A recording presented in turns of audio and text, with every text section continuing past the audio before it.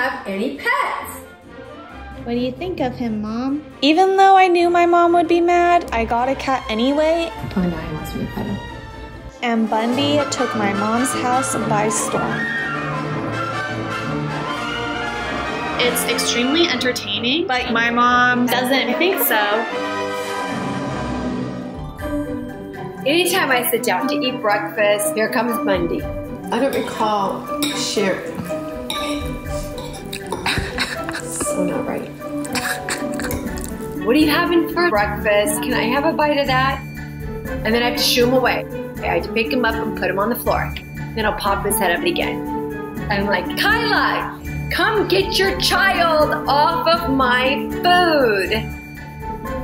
The way he looks is exactly how his personality is. I come home, I see cat hair on my table, I see paw prints on the counters.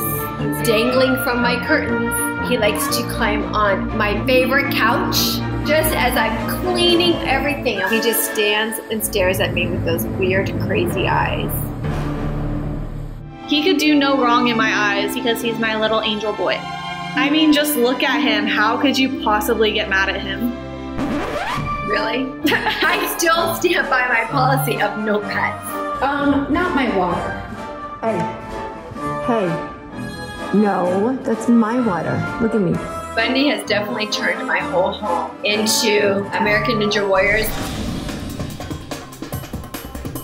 He loves pressing my buttons, but he does have his moments.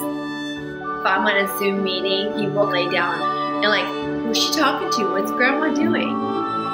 I like to be around him. He's my grandson. But when it comes to being calm and mellow, he is nothing like that. I guess over time I've learned to tolerate Bundy just a little bit.